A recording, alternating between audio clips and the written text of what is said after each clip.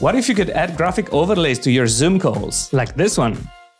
Or this one? I have an idea and your lower third graphic overlay. If you know my channel, you know that I love OBS Studio and that I've been using it for this purpose. Today I'm going to take it one step further and show you how to use a plugin that will make your life much easier. You may be wondering, how is this different from what I'm doing today? Well, what you're probably doing is to create a scene and then add overlays and then toggle the show hide icon to make them pop. But what if you need to use the different overlays on different scenes? Well, yeah, you can just copy and paste the reference in each scene. But here I'm talking talking about something next level. With this plugin, you can use an overlay no matter what scene you're on. So let's say you're sharing your camera or maybe sharing your screen. And then something unplanned happens. If you had to go look for the right scene and then switch to that scene and then activate the overlay, it's doable, but you would miss the moment. If instead you have one hotkey that you can press, even better if you're on a Stream Deck, then this would make things much easier. Great idea, right? So let's go do it.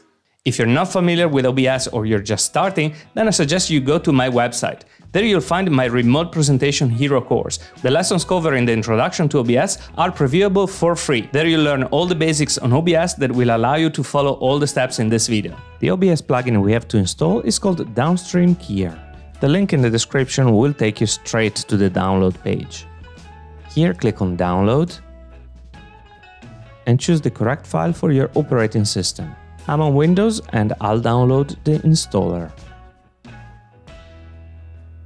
Extract the zip folder and then double click on the installer. Once you've installed the plugin, restart your OBS and then go to Docks. If everything went correctly, then you should find it in the list here. Click on Downstream Keyer now here you will see one empty tab. My dock is different just because I've already added the overlays. So let's do it together from scratch. I will add a new tab and the name that OBS is proposing is DSK1, which is probably the name that you're seeing. Now this tab is empty like yours and we have to populate it with your overlays. To do that you have to create one scene for each of the overlays that you intend to use. I've already done it for Love Confetti, the hype confetti, gold confetti, and falling dollars. If you're finding this video useful, please subscribe to my channel to help me grow it and hit the like button so more people will have the chance to watch this video. Thank you. So let's say I want to add the love confetti.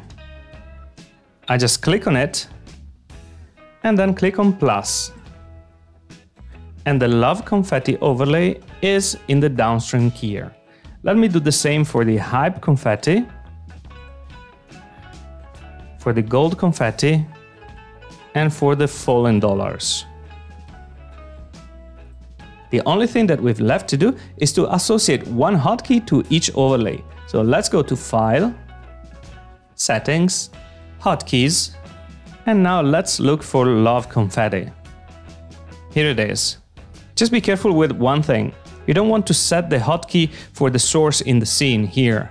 Instead, your hotkey will have to be set for show on DSK1 and hide on DSK1, where DSK1 is the name of the tab. So I'll set it to Alt-C and the same Alt-C as show and hide. And let me do the same for the hype confetti overlay.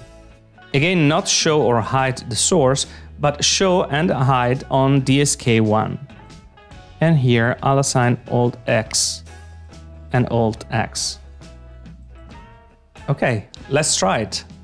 So Alt C and the love confetti is there and Alt X the beauty of this plugin is that these overlays work with any scene, meaning that you don't have to place the overlay on each scene, but instead it will play on top of the scene no matter which scene is active. So if I'm on this scene where the camera is not connected yet, I type Alt C, the overlay will play.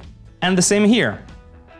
And if you have a Stream Deck, things can be so much easier. You can add the shortcuts to your Stream Deck keys, and by pressing them, you'll activate the overlays or a lower third like this. Easy, isn't it? Great! Now you know how to put graphic overlays on your Zoom calls. The next step is to take the messages from the chat and display them as overlay on your Zoom video. You can use this to drive engaging icebreakers or brainstorming sessions. Or what I like the most is to spice up your video call Q&As. What you have to do simply is to watch this next video here.